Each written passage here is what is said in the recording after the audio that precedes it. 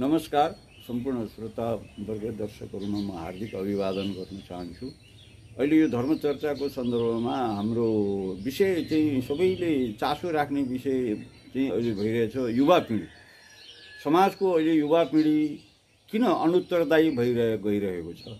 किन जिम्मेवार हुन सकेन? त्यो अहिले सबैको चिन्ता छ। प्राय गार्जेनहरू अभिभावकहरूको पनि एउटै गुनासो सुनिन्छ कि हाम्रा सन्तानहरू आउट अफ ट्र्याक गइराखेका छन्। हाम्रो चाहिँ प्रभावमा छैनन् र उनीहरू चाहिँ सदाचारको मार्गलाई अपनाउन सकिरहेका छैनन्। पुरानो संस्कृति हाम्रो धर्म संस्कृति परम्परा अ, बाट उनीहरू टाढा भइराखेका छन् भन्ने गुनासो प्राय सुन्ने गरिन्छ अहिले। यो एउटा चाहिँ दुःखको कुरा हो। र यो युवा पिँढी भविष्यको सन्ततिहरूमा यो मनोवृत्ति देखा पर्यो भने पछि त्यो समाज कस्तो होला भन्ने एउटा चित्रणले नै हामीलाई भयावह गराउँछ। त यो कारणले गर्दा यसको समस्या के हो? यसका किन यो परिस्थिति निर्माण भयो? भन्ने कुरा पनि हामीले बेला बेलामा मन्थन गर्नुपर्छ। र युवा पिँढीहरूको मात्रै त्यसमा जिम्मेवारी छैन होला। हामी अभिभावकको पनि त्यसमा जिम्मेवारी हुनसक्छ किनभने वास्तविक रूपमा अहिले हामी अभिभावकहरू पनि कति सदाचारी छौँ। कति हामीले हाम्रो धर्मशास्त्रको अनुकूल एउटा पालना अनुशासन पालन गरेका छौँ। त्यो पनि एउटा शोचनीय कुरो छ।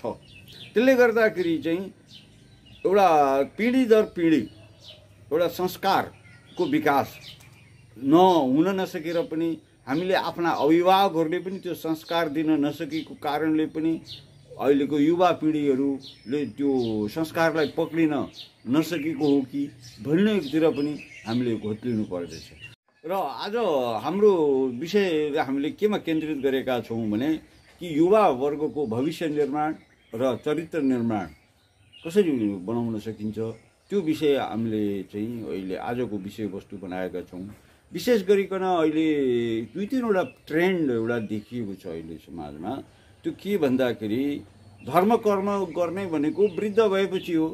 प्राय आजकल युवा पिँढीलाई अलिकति अब हामीले मन्दिर जाउँ यसो केही धर्मशास्त्रको किताब पढ भनेर भन्दाखेरि चाहिँ अहिले यो हो त अहिले यो उमेरमा गर्ने हो र बुढो भएपछि गर्ने हो पाको भएर गर्ने हो रिटायर भएर गर्ने हो भनेर भन्छन्। यो धारणा पनि गलत धारणा हो। किन भन्दाखेरि तपाईँको कुनै व्यक्तिको आँखाको प्रब्लम छ भने अथवा गोडाको प्रब्लम छ अपरेसन गर्नुपर्ने भने उसले म पछि बुढो भएर गर्छु। आखिरी अहिले चम चलेकै छ भन्नु र अहिले नै आँखाको अपरेसन गरेर राम्रोसँग चाहिँ आँखा बना उपचार गरेर आँखा देख्ने भएपछि उसले बाँकी जीवन राम्रोसँग आँखाको प्रयोग गर्न सक्छ। गोडा पनि उसले चाहिँ तपाईँको उपचार गरेर ठिक गरेपछि हिँड्न सक्छ। तर किन त्यो उपचार नगर्ने? त्यत्तिकै काम चलिरहेछ पछि गरौँला भन्यो भने ऊ त्यो सुविधाबाट वञ्चित हुन्छ। त्यही कारणले गर्दाखेरि हामीले पनि चाहिँ फेरि अर्को कुरा लाइफको ग्यारेन्टी त छैन। मान्छे बुढो भएपछि पाको भएपछि गर्ने भन्दा भविष्य के हुन्छ? के कसैको निश्चित छैन। उमेर त्यो कारणले गर्दा पनि यो कुरा युक्तिसङ्गत छैन। अर्को कुरा चाहिँ के छ भन्दाखेरि भक्ति मार्गमा चाहिँ वृद्ध भएर पाको भएर गर्ने भन्ने कुरामा पनि एउटा तर्क के दिन सकिन्छ भने तपाईँ हामी बजारमा केही किनमेल गर्न गयौँ भने ताजा चिज खोज्छौँ नि स्याउ अथवा सागसब्जी आलु मटर टमाटर ताजा खोज्छौँ। अलि ओइलाएको अलि ब- बासी भयो भने त्यसलाई रिजेक्ट गर्छौँ। दिँदैनौँ। त्यस्तै भगवान्को लागि पनि अब पाको भएर हाम्रो कृषकाय शरीर भएर आँखा पनि चाहिँ एकदम चिम्री भइसकेको छ। अनि अन्धो जस्तो अनि चाहिँ शरीर चाउरी परेको छ शरीर चाहिँ ऊर्जाहीन भइसकेको छ त्यस्तो अवस्थामा भगवान्को लागि पनि त्यो प्रिय हुन सक्दैन। त्यो कारणले गर्दा भगवान् पनि मैले चाहिँ एउटा पढेको थिएँ कतै विशेष गरी युवा पिँढीहरू बालक र युवा पिँढीहरू चाहिँ भक्ति मार्गमा लागे मन्दिर गए भगवान्को अर्चना गरे भने भगवान् ज्यादै खुसी हुनुहुन्छ अरे। भगवान् चाहिँ लाई प्रसन्नता त्यसमा बढी हुन्छ। त्यो कारणले गर्दाखेरि अहिले हाम्रो समाजमा विशेष गरी युवा पिँढीहरूमा यो एउटा कथन जो पाइन्छ कि अहिले धर्म कर्म गर्ने बेला भएको छैन बढी पछि गर्ने हो प्रौढ अवस्थामा रिटायर भएपछि त्यो गलत कथन हो। यसको मतलब फेरि धर्म कर्म गर्ने भन्दा अहिलेको युवा पिँढीमा के छ भने एकदम पहिरो गेरु वस्त्र लगाएर नाम त्यो भजन कीर्तन गर्दै हिँड्नुपर्छ भन्ने कुरो उनीहरूले जो चाहिँ त्यसरी परिभाषित गर्छन् त्यो पनि गलत हो। धर्म कर्मको कुरा के हो भने जस्तो चौबिस घन्टा छ हाम्रो जीवनमा। चौबिस घन्टामा चाहिँ तिमी बाँड युवा पिँढीलाई मेरो अनुरोध छ भगवान् सत्य साई बाबाले पनि यही कुरा भन्नुभएको छ छ घन्टा तिमी आराम गर। छ घन्टा तिमी आफ्नो जबको काम गर। गभर्मेन्ट अफिसमा छौ कि प्राइभेट अफिसमा छौ कि तिमी जब फुल टाइम जब गर छौ छ घन्टा कतै अरूतिर ध्यान नदेऊ आफ्नो इमान्दारीपूर्वक जब गर। छ घन्टा तिमी भगवान्को ध्यान र पूजा अर्चनामा देऊ।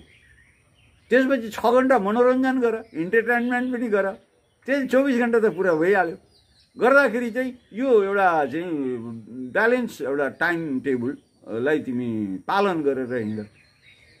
भनेर भगवान् सत्यसाई बाबाले पनि यो दिनुभएको छ दृष्टान्त युवा वर्गलाई कि मानिसले आफ्नो चौबिस घन्टालाई कसरी म्यानेज गर्ने मानिसले किन दुःख पाइरहेको छ? चौबिस घन्टामा मान्छे चाहिँ राति सुत्नु बाहेक सारा काम जो व्यवसायमा लागेका छन् आफ्नो बिजनेसमा लागेका छन् अनि त्यसपछि जो आफ्नो उसमा पैसा कमाउने धन्दामा लागेका छन् चौबिसै घन्टा हो कि? राति सुत्दा पनि त्यही टेन्सन लिएर घरमा आउँछन् अनि सुत्छन् निन्द्रा बेचैन हुन्छन्।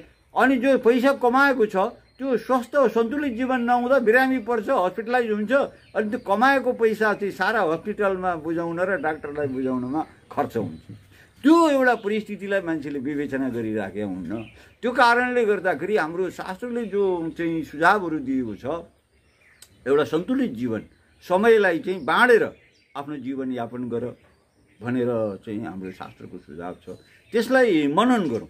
अर्को कुरा के छ भन्दाखेरि चाहिँ मान्छेहरू जो युवा पिँढीहरूमा किन विचलन आएको छ भन्ने भन्दाखेरि अर्को एउटा फन्डामेन्टल कुरा के छ भन्दाखेरि तपाईँ हामी सामान्य एउटा बातचितकै अर्थमा भनौँ न उकालो चढ्नु पऱ्यो धनकुटा अब त अहिले बाटो गाडी जान थाल्यो पहिले हिँड्दाखेरि। उकालो चढ्दा कति गाह्रो हुन्छ। उकालो चढ्दा परिश्रम गर्नु पऱ्यो अनि पसिना आउँछ अनि कठिन यात्रा हुन्छ अनि हामी चाहिँ टाकुरामा पुग्छौँ भनेको गन्तव्यमा हामी लक्ष्यमा पुग्न सक्छौँ। तर ओह्रालो झर्नलाई त परिश्रम गर्नु परेन मेहनत पनि गर्नु परेन सर ओह्रालो झरिन्छ। अहिलेको चाहिँ जो हाम्रो टेन्डेन्सी जो छ त्यो ओह्रालो लाग्नु भनेका खराब कर्महरूमा मान्छे जो प्रवित भइरहेको छ त्यसलाई त मेहनत गर्नु परेन नि परिश्रम गर्नु परेन होइन? अनि त्यसरी मान्छेहरू चाहिँ ओह्रालो लाग्ने काममा बढी लागिराखेका हुन्छ। अब साधनायुक्त जीवन इन्द्रिय संयम अनि त्यसपछि संयमपूर्ण जीवन पालन गर्नलाई त्यसको लागि त अलिकति साधना गर्नु पऱ्यो अलिकति संयममा बस्नु पऱ्यो नियम पालना गर्नु पऱ्यो त्यो कारण त्यो चाहिँ अब युवा पिँढीहरू गर्न चाहिँ सकिरहेको छैन। उनीहरू त्यो गर्न चाहँदैन परिश्रम जस्तो अब तपाईँको एउटा विद्यार्थीलाई सुरु सुरुमा तपाईँको पठन पाठन गराउनलाई कति गाह्रो हुन्छ। बाबु पढ पढ पढ भनेर कराउनुपर्छ ऊ त्यहाँबाट फुत्केर हिँड्छ खेल्न जान्छ। अघि उसलाई थाहा हुँदैन पढाइको महत्त्व। तर जब त्यही बालक दुई चार क्लास पाँच क्लास दस क्लास भइसकेपछि त्यही बालकलाई बाबु त्यो मेरो एउटा काम गर्दैन। नै नै मेरो जाँच छ बाबा। मैले पढ्नुपर्छ। आफै उसले भन्छ कि म अरूतिर म अल्मलिन चाहन्न मेरो पर्सिदेखि जाँच छ मैले पढ्नुपर्छ परीक्षाको तयारी गर्नु हेर्नुहोस् कत्रो चेन्ज आयो नि। त्यो ज्ञान एउटा चेतना भएपछि उसले आफै बुझेर अनि पढ्न थाल्छ। त त्यो कारणले गर्दाखेरि सुरुमा मानिसलाई तपाईँको एउटा राम्रो कर्म गर्नको लागि चाहिँ परिश्रम अलिकति गर्नै पर्छ। परिश्रम नगरिकन त कुनै पनि तपाईँको उपलब्धि हासिल हुन्न। अब तपाईँको चाहिँ तर उसलाई त्यो ज्ञान हुन्न कि यसको महत्त्व आवश्यकता भ्यालु याद हुन्न र ऊ परिश्रम गर्न चाहँदैन। अनि जब ऊ अलिकति अब गार्जेनले दबाब दिएर अनि गाली गरेर पढाउन थालेपछि अनि जब उसले बुझ्ने हुन्छ अनि उसले पढाइको ट्र्याक समातेर आफै पढ्दै पढ्दै उच्च तहमा पुगेर अनि एउटा ठुलो हाकिम हुन्छ एउटा अफिसर हुन्छ अनि उसले जीवन पर्यन्त आफ्नो एउटा जब लाइफ बिताउँछ रिटायर हुन्छ सुखपूर्ण जीवन बिताउँछ। यो एउटा चाहिँ परिस्थिति छ। के मैले भन्न खोजेँ यसमा के हो भने कुनै पनि एउटा सफलता हासिल गर्नको लागि युवा पिँढीलाई मैले ल सम्बोधन गरेर भन्दैछु कि एउटा महत्त्वपूर्ण उपलब्धि हासिल गर्नुको लागि परिश्रम मेहनत त्याग सङ्घर्ष त गर्नै पर्छ। परिश्रम मेहनत त्याग र सङ्घर्ष नगरेको चिज कुनै उपलब्धि त्यो चाहिँ टिकाउ हुन्न त्यो ठोस उपलब्धि पनि हुन्न। त्यसले पनि जति पनि महान उपलब्धिहरू भएका छन् विश्वमा महान पुरुषहरू भएका छन् उनीहरूको बायोग्राफी पढ्यो भने थाहा हुन्छ कि उनीहरू कति कष्टसाध्य जीवन बिताएर उनीहरूले त्यो उपलब्धि हासिल गरेका छन्। अब अर्को एउटा टेन्डेन्सी के छ भन्दाखेरि हाम्रो समाजमा परिश्रम चाहिँ नगरौँ तर फल चाहिँ प्राप्त गरौँ भन्ने एउटा टेन्डेन्सी छ। मेहनत गर्ने प्रवृत्ति हराएर गयो। परिश्रम गर्ने प्रवृत्ति हराएर गयो। यो पनि एउटा अहिलेको हाम्रो समाजको एउटा प्रब्लम भइरहेको छ तर हामीले के बुझ्नु पर्दछ भन्दाखेरि मलाई एउटा कथा याद आउँछ। एकजना एकदमै रिचेस्ट इन्डस्ट्रियलिस्ट एकदमै धनाढ्य उद्योगपति के गर्दो रहेछ भने बिहान बिहान उठेर एउटा टिनको ट्याम्का खोल्दो रहेछ सधैँ। अनि घरका छोराछोरी सन्तान परिवारले पहिले त याद गराएको थिएन तर हाम्रो चाहिँ यो गार्जेन बाबु अथवा श्रीमतीको लागि श्रीमान सधैँ नित्य कर्म जानुभन्दा अगाडि यो टिनको ट्याङ्क पुरानो थोत्रो ट्याङ्का खोलेर के गर्छन् भनेर सोधेछन् अनि चियो गरेछन्। हेर्दाखेरि चाहिँ एउटा पुरानो थोत्रो लुगालाई उसले ढोक्दो रहेछ। ढोगेर अनि एकछिन पाँच मिनट ध्यान गरेर अनि त्यो टिनको ट्याङ्कामा राखेर अनि आफ्नो जब वर्क गर्दो रहेछ। अनि श्रीमतीले देखिन् छोराछोरीले देखेपछि सोधे यो के तपाईँको रहस्य हो हामीले जान्न सकेनौँ। भन्दाखेरि त्यो उद्योगपतिले के भन्छ भने म पहिले श्रमिक थिएँ लेबर थिएँ।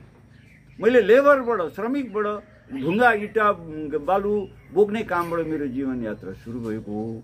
र त्यतिखेर मैले लगाउने गरेको लुगा हो त्यो। र मैले वि विशाल एउटा उद्योगपति भए तापनि अरबौँ रुपियाँको म मालिक भए पनि मैले आफ्नो धरातललाई बिर्सनुहुन्न। मैले त्यो आफ्नो धरातललाई नबिर्सौँ भनेर म हरेक दिन त्यो टिनको बाकस खोलेर मेरो त्यो लेबर श्रमिक जीवनको कपडालाई म ढोक्छु त्यो मेरो धरातल हो भनेर भन्दाखेरि अनि उसको श्रीमती र छोराछोरीले त त्यो जीवन देखेनन् उसको श्रमिकलाई। अनि उनीहरू पनि बडो भाव विहल भए। हो कि? अनि उनीहरूले पनि एउटा ठुलो आँखा उनीहरूको पनि प्रेरित भए त्यो उद्योगपतिको कुरा सुनेर बडो भावुक पनि भए। त यो एउटा हाम्रो चाहिँ एउटा स्टार्टिङ लाइफ सङ्घर्षबाटै कुनै पनि व्यक्ति सङ्घर्षबाटै अनि सफलताको उच्च शिखरमा पुग्छ। जङ्गलको राजा सिंह पनि जङ्गलको राजालाई सिंहलाई त केही मिहिनेत गर्नु पर्दैन थियो आखिर ऊ जङ्गलको राजा सिंह हो सधैँ पालो लगाइदिए पनि एक एकवटा उसले आहार भेट्छ।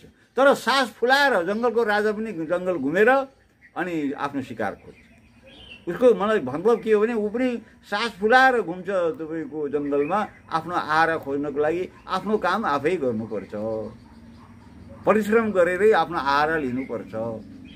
यो सिंहको यो दृष्टान्तबाट पनि हामी तपाईँको प्रेरणा लिन सक्छौँ चराचुरुङ्गीकै कुरा गर्नु अब हामी त मनुष्य जाति भगवान्ले बनाइदिनु भएको चेतना युक्त प्राणी हौँ।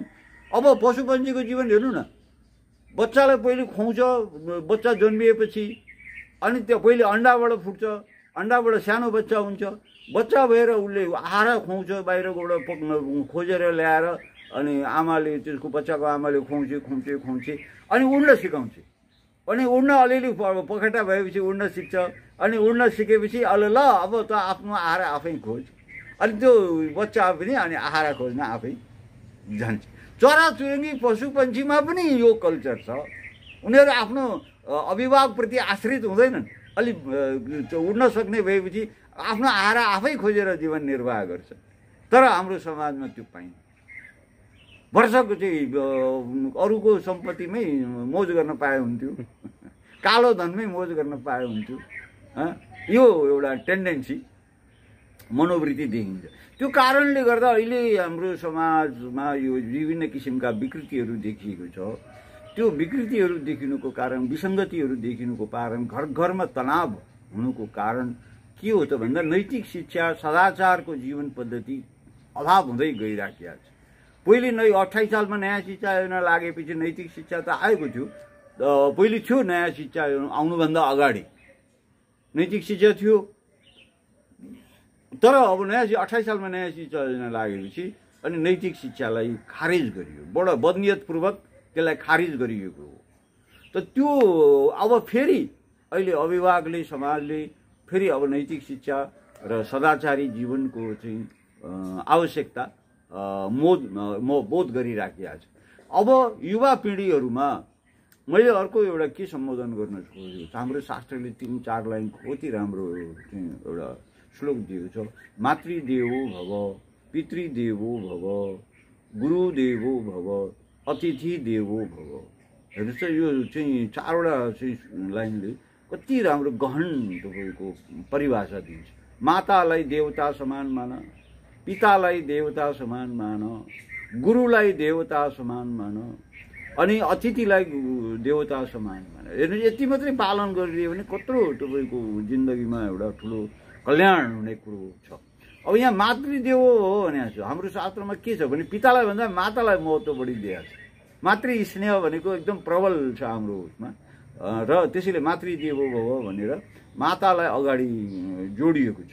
त बालकहरूले युवा पिँढीहरूले चाहिँ यो चाहिँ चारवटा कुरा मातृदेवो भव पितृदेवो भव गुरुदेवो भव अतिथि देवो भव एकदम मनन गर्नुपर्छ अनुसरण गर्नुपर्छ।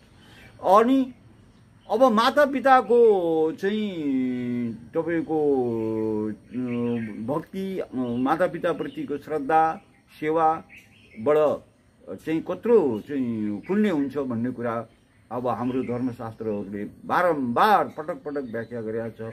श्रवण कुमारको कथा त्यसै कारणले प्रख्यात छ हाम्रो धर्मशास्त्रमा। र श्रवण कुमार मात्रै होइन तपाईँको अन्य राम भगवान् रामकै उदाहरण हामी दिन सक्छौँ। उहाँले चौध वर्ष वनवास जानुभयो। आफ्नो पिता माताको आज्ञा पालनको लागि राजा हुने उहाँको जुन स्थिति थियो त्यसलाई परित्याग गरेर चौध वर्ष वनवास जाँदा पनि खुसी साथ आफ्नो पिता दशरथ र माता कैकैको चाहिँ आज्ञा पालन गर्नको लागि उहाँ चौध वर्ष वनवास जानुभयो। यो एउटा ठुलो एउटा हामीलाई उपदेश हो। कि माता पिताको आज्ञालाई हामीले जसरी पनि पालन गर्नुपर्छ त्यस्तै गुरुको आज्ञालाई हामीले पालन गर्नुपर्छ अतिथिको सेवा हामीले पालन गर्नुपर्छ। गुरुको सेवा गर्दाखेरि ज्ञान आफै प्राप्त हुन्छ। गुरुको तपाईँको सेवा जसले निष्ठापूर्वक गर्छ त्यो गुरुको आशीर्वादबाट उसलाई सा स्वत त्यस्ता धर्मशास्त्र उद्दालकको कथा छ। चाहिँ तपाईँको उद्दालकले गुरुबाट आशीर्वाद प्राप्त गरेर आफै ज्ञान प्राप्त गरेका थिए।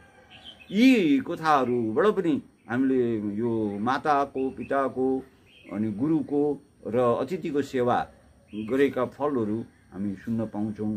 र अब अहिलेको वर्तमान म घटना तपाईँलाई म बताउँ कि चरित्र निर्माण र सत्यवादी विचार सदाचार अहिले पनि छ समाजमा। हराएको त छैन तर त्यो ओझेलमा छ त्यो कम प्रतिशतमा होला मलाई एउटा घटना सम्झना हुन्छ एकजना मित्र दुई साथीभाइ रहेछन् सँगै पढ्या। पछि व्यव काठमाडौँमा। पछि व्यवहारले एउटा काठमाडौँ एउटा पोखरा भयो। अनि पोखरा हुने साथीले निमन्त्रणा गर्यो का पोखरा घुम्न आऊ? म तिमीलाई घुमाउँछु। काठमाडौँको साथी पोखरा गयो साथीको निमन्त्रणामा। अनि दुईजना दाजुभाइ ए साथीभाइ गफ गर्दै गए घर गृहस्थीका कुरा आए। अनि चाहिँ पोखरा हुनेले भन्यो मेरो छोरीको कन्यादान गर्नु छ मलाई अहिले त्यही चिन्ता छ। काठमाडौँ हुनेले भन्यो मेरो छोराको पनि बिहा गर्नु छ। कुरा त मिल्यो। कति उमेर सबै कुरा मिल्यो। लु छोरा र छोरीको बिहा गर्ने प्लान बनाऊ। अनि त्यहाँबाट त्यो पोखरा हुने साथीलाई भने कि तिमी हिँड काठमाडौँ मेरो छोरालाई हेर अनि छोरी पनि लिएर जाउँ अनि मन पऱ्यो भने बिहाको कुरा अगाडि बढाउँ। अनि सँगै काठमाडौँ फर्किँदा एयरपोर्टमा पुगे उनीहरू। अनि त्यो काठमाडौँ हुनेको छोरो चाहिँ गाडी लिएर एयरपोर्ट आएको थियो। अनि उसले बाबुलाई एयरपोर्टमा पुरा साष्टाङ्ग दण्डवत गरेर ढोग्यो आफ्नो बाबुलाई। अनि त्यहाँबाट बाबुले परिचय गराए मेरो साथी पोखराबाट म आएको म पोखरा उहाँकै घरमा बसेँ। अनि त्यो साथी बाबुको साथीलाई पनि उसले ढोग्यो। हो अनि त्यो पोखरा हुने साथीले के भन्छ भने तपाईँको छोरालाई मैले अब हेर्नै पर्दैन। धेरै परीक्षण गर्नु परेन। डिसाइड गरेँ मैले छोरी चाहिँ म तपाईँको छोरालाई दिन्छु। भन्दा किन तपाईँले हठात यो निर्णय गर्नुभयो एयरपोर्टमा? घरै नपुगिकन दुई चार दिन पनि नहेरिकन। भन्दा जुन छोराले आफ्नो बाबुलाई यत्रो श्रद्धा गर्छ एयरपोर्टमा पनि सार्वजनिक ठाउँमा सङ्कोच नमानिकन ढोक्छ त्यो छोराको के परीक्षण गर्नुपर्छ? हन्ड्रेड पर्सेन्ट ऊ एकदम लायक छोरा हो योग्य छोरा हो भनेर। अनि पछि उनीहरूको विवाह भयो दुइटैको छोराछोरी जो काठमाडौँ हुने र पोखरा हुने साथी थिए उनीहरूको आफ्नो छोरा र छोरीको विवाह गरायो भन्ने यो अब यसबाट के बुझिन्छ भने एउटा आचरणबाट पनि धेरै कुरा त्यसबाट पनि सन्देश जान्छ। र त्यसले अब त्यो पोखरा हुने चाहिँ त्यो त्यो कन्याको बुबा हुन् उनी प्रभावित भए। त्यो आफ्नो साथीको छोराको व्यवहारबाट प्रभावित भए। त्यो यो कथा किन यहाँ हामीले जोड्न खोजेको भन्दाखेरि यो चरित्र निर्माण अनुशासन सदाचार भन्ने कुरा बडो महत्त्वपूर्ण कुरा हो। यस्ता धेरै दृष्टान्तहरू अहिले पनि हामी समाजमा पाउँछौँ। र यही सन्दर्भमा तपाईँको एउटा हामीले के बुझ्न सक्छौँ भन्दाखेरि कि अब अघि मैले नै चर्चा गरेँ कि श्रवण कुमारको कथा पुण्डरिकको कथा र त्यसपछि पुण्डरिकको पनि एउटा मातृ पितृभक्त बालकको कथा फेमस छ पुण्डरिकको कथा। पुण्डरीले तपाईँको यस्तो आफ्नो बाबु आमाको सेवा गर्थ्यो त्यो एकदमै चर्चित भयो। प्रख्यात भएपछि भगवान् कृष्ण कहाँ पनि पुग्यो दरबारमा? भगवान् श्रीकृष्ण असाध्यै प्रभावित भएर पुण्डरिकलाई भेट्न आउनुभयो दर्शन दिनलाई। अनि त्यहाँबाट चाहिँ पुण्डरिक म तिमीलाई चाहिँ दर्शन दिन आएको छु। म यहाँ तिम्रो घरमा द्वारमा उपस्थित छु भन्दा पुण्डरिकले भन्छ म अहिले मेरो पिताजी निदाउन आँट्नुभएको छ। म उहाँको निद्रामा बाधा पार्न चाहन्न। यो इट्टामा तपाईँ मस्तै गर्नुहोस्। बुबा निदाउनु भएपछि म तपाईँसँग फेरि वार्ता गरौँला। भनेर भन्छन् पुण्डरिकले। अनि ऊ आफ्नै बुवाको सेवामा तल्लीन रहन्छ। अनि झन् भगवान् अझ प्रसन्न हुनुभयो। ओहो कत्रो अनन्य भक्ति छ आफ्नो पिताजीप्रति। भनेर। अनि त्यसपछि चाहिँ बुवाको सेवा उसले गरिसकेपछि अनि त्यहाँबाट पुण्डरिक चाहिँ भगवान्सँग वार्तालाप गर्छन् अनि भगवान् असाध्यै प्रभावित भएर अनि त्यो पुण्डरपुर भन्ने ठाउँ त्यो पुण्डरिकै नामबाट पुण्डरपुर भन्ने ठाउँ छ त्यहाँ त्यो चाहिँ विठ्ठल भन्ने त्यहाँको इट्टालाई विठ विठ्ठल भन्दा रहेछन् त्यहाँको भाषामा विठ्ठलका मन्दिर भन्छन् त्यहाँ भगवान् श्रीकृष्ण इट्टामाथि अहिले पनि बसेर यसरी आशीर्वाद पुण्डरिकलाई आशीर्वाद दिइरहनु भएको मूर्ति अझै पनि छ त्यहाँ। पुण्डरपुर। यी कथाहरू श्रवण कुमारको कथा पुण्डरिकको कथा भगवान् रामको कथा श्रवण कुमारको कथाहरूले पनि युवा पिँढीलाई एउटा सन्देश एउटा शिक्षा दिइरहेको हुन्छ। अब हाम्रो अहिले समाजमा धार्मिक सङ्घ संस्थाहरू र अन्य विभिन्न सङ्घ संस्थाहरूबाट हामीले पर्याप्त मात्रामा युवा पिँढीलाई एउटा सही दिशा सदाचारको दिशा नैतिक आचरणको दिशा कर्मशील जीवनको दिशा बोध गर्ने किसिमका साहित्यहरू त्यस्ता किसिमका गतिविधिहरू त्यस्तो किसिमका एक्टिभिटिजहरू सञ्चालन गर्नुपर्ने आवश्यकता छ। सरकारले पनि त्यसतर्फ ध्यान दिनुपर्दछ र सामाजिक धार्मिक संस्थाहरूले पनि ध्यान दिनुपर्दछ र शिक्षण संस्थाहरू विशेष गरिकन शिक्षण संस्थाहरूले ध्यान दिनुपर्दछ। किनभने युवा पिँढीहरूले चाहिँ अधिकांश समय विद्यालयबाट शिक्षा प्राप्त गर्दछन्। उनीहरूको युवा अवस्था शिक्षण संस्थाबाट चाहिँ व्यतीत भएको हुन्छ। र उनीहरू त्यो आफ्नो शिक्षण संस्था पहिलो पाठशाला घर भनिन्छ दोस्रो पाठशाला विद्यालय भनिन्छ। घरमा पनि एउटा सदाचारयुक्त अभिभावकहरूको जीवन हुनु पऱ्यो जीवनशैली। अनि विद्यालयमा पनि एउटा नैतिक शिक्षा भौतिक यो चाहिँ यो जब ओरिएन्टेड क्ला एजुकेसन भनिन्छ। अहिले जति स्कुलहरू खुलेका छन् बोर्डिङ स्कुलहरू यो चाहिँ एउटा चाहिँ जब पाउने भाँडो हो। ए यो अहिलेको एजुकेसन भनेको जब पाउने भाँडा जस्तो मात्रै। ब्यागिङ बल भन्छ अङ्ग्रेजीमा। ब्यागिङ बल भनेको अब त्यो बढाइसकेर डिग्री लिएर अनि अफिस अफिसमा चाहार्ने त्यो मात्रै गरिरहेछ। तर उनीहरूको चरित्र निर्माण एउटा व्यक्तित्व निर्माणको शिक्षा अहिले दिइरहेको छैन अहिलेको शिक्षा नीतिले।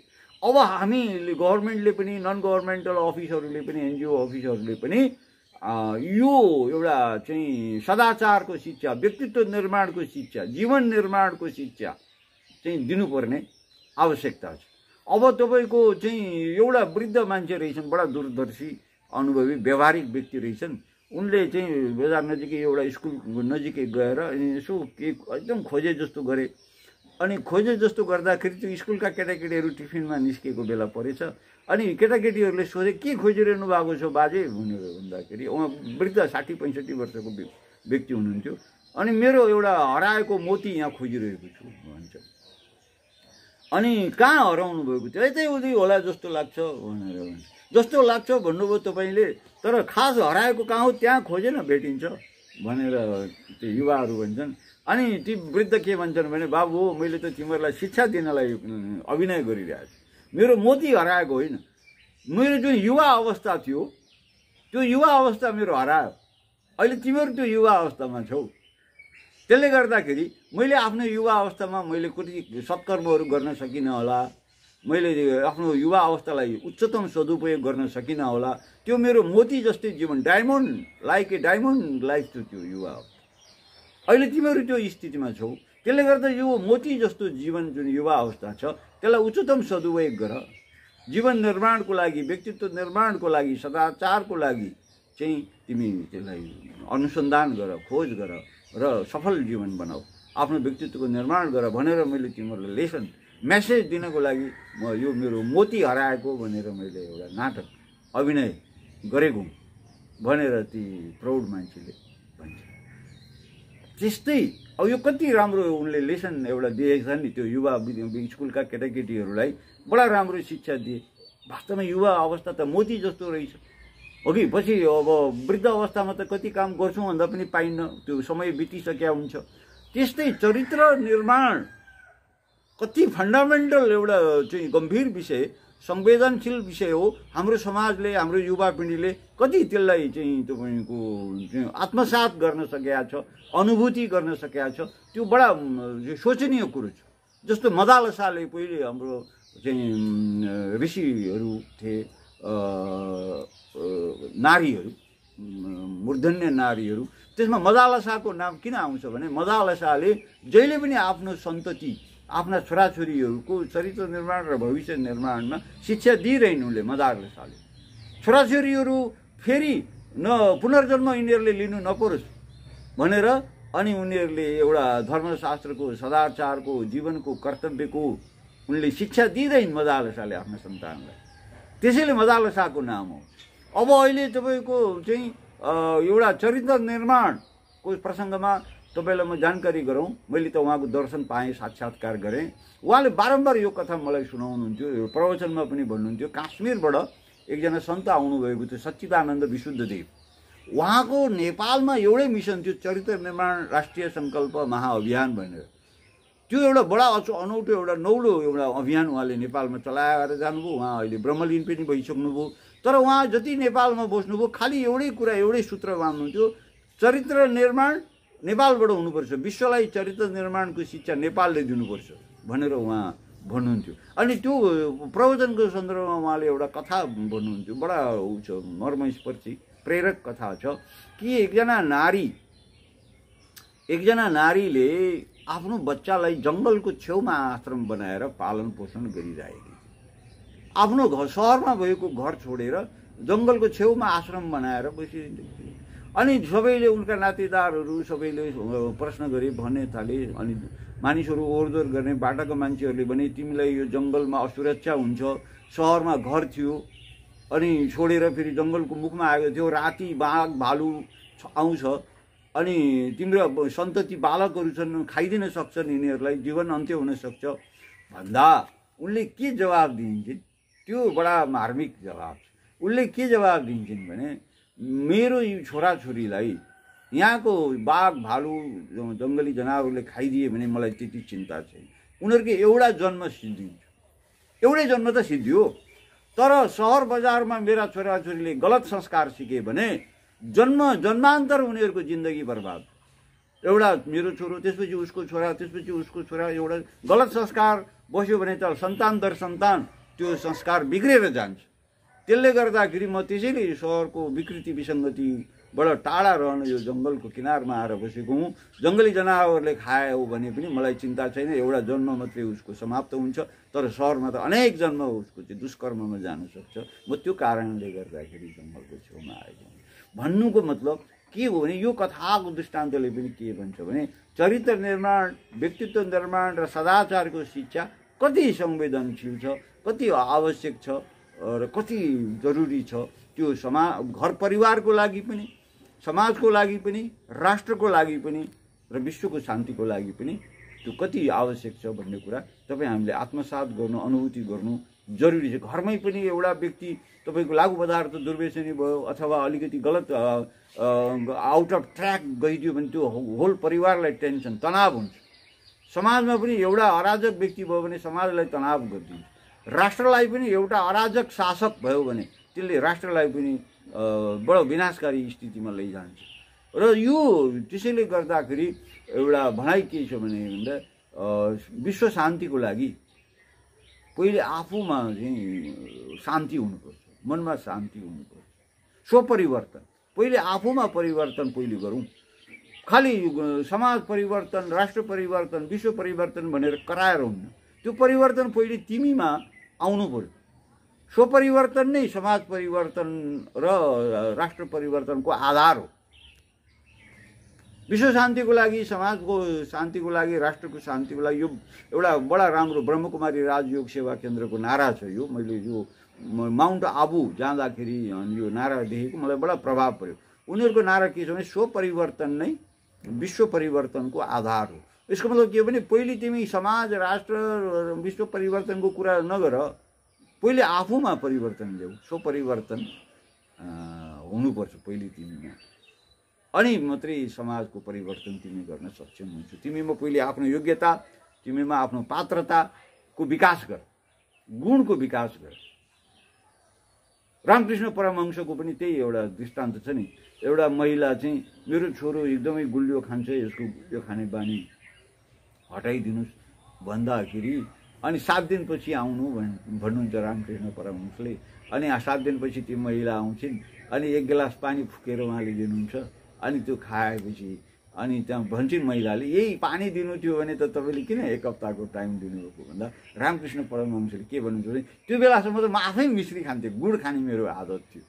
जब म आफै गुड खान्छु मिठा मिश्री खान्छु मैले कसरी उसलाई ठिक पार्न सक्छु? मैले सात दिन चाहिँ यो टाइम किन दिएको भने मैले त्यो गुड छोड्नु पऱ्यो मिश्री खान छोड्नु पऱ्यो अनि म उसलाई ठिक पार्न सक्छु। त्यो कारणले मैले सात दिनको टाइम मागेको रामकृष्ण परमहंसले यो दिनुभएको त्यो जवाब त्यो हाम्रो लागि पनि शिक्षा। अब अहिले हाम्रो समाजमा के छ? जो भ्रष्ट छ त्यही सदाचारको उपदेश दिन्छ। जो अपराधिक मान्छे छ त्यही चाहिँ अपराध गर्नुहुन्न भन्ने। जो बढी हिंसक छ त्यसले अहिंसाको उपदेश दिन्छ। यो समाजको विरोधाभास विसङ्गति अहिले कन्ट्राडिक्सन यही नै हो। यसलाई चाहिँ हामीले चिर्न सक्नु पऱ्यो सदाचारी व्यक्तिहरू निस्किनु पऱ्यो मलाई चाहिँ अहिले याद हुन्छ फ्रेङ्कलिन भन्ने एकजना दर्शक विचारक चिन्तन चिन्तकले के भनेका छन् भने समाजमा व्यविचार किन बढ्छ अपराध किन बढ्छ गलत नाजायज गतिविधिहरू किन बढ्छन् भन्दा पढे लेखेका शिक्षित र भद्र मान्छेहरूको निष्क्रियताले बढ्छ। पढे लेखेका शिक्षित र भद्र व्यक्ति चुपलाएर बस्छन् निष्क्रिय बस्छन् उनीहरू विलासी हुन्छन्। केही क्रियाशील गर्दैनन् एउटा सदाचार समाज निर्माणको लागि उनीहरूको योगदान सक्रियता रहन्न तर जो गलत काम गर्ने मान्छेहरू चाहिँ एकदम सक्रिय भएर लागिरहेका हुन्छ त्यो कारणले गर्दा समाजमा बेविचार र तपाईँको दुष्कर्महरू बढेको भनेर फ्रेङ्कलिनले भनेको छ राजनीतिक चिन्तकले। यथार्थमा त्यो हामीले पनि त्यो कुरा हो भन्ने हामीलाई पनि त्यो अनुभव हुन्छ। त्यो कारणले गर्दा अब निष्कर्षमा म के भन्न चाहन्छु भने यो हाम्रो नेपाल त ऋषिमुनिहरूको देश हो। यो चाहिँ एउटा सधैँ एउटा सदाचारको चाहिँ एउटा पृष्ठभूमि। हाम्रो इतिहासलाई खोतल्ने हो भने हाम्रो चाहिँ पौराणिक कथाहरूलाई खोतल्ने हो भने जहिले पनि यहाँ एउटा चाहिँ सदाचारको एउटा चाहिँ भूमि यो एउटा चाहिँ पवित्रताको भूमि भगवान्को यहाँ एउटा गीत आउँछ एउटा गायकले गाउँछन्। यहाँ ढुङ्गा ढुङ्गामा भगवान्को बास छ भन्ने एउटा गीत म काहीँ सुन्छु भक्ति सङ्गीतमा। त्यो साँच्चीकै सही कुरा हो कि यहाँ माटो माटोमा सुबास छ ढुङ्गा ढुङ्गामा भगवान्को बास छ भनेर त्यो गीत भक्ति सङ्गीतमा आउँछ कहिले काहीँ भजन। त्यो यथार्थ।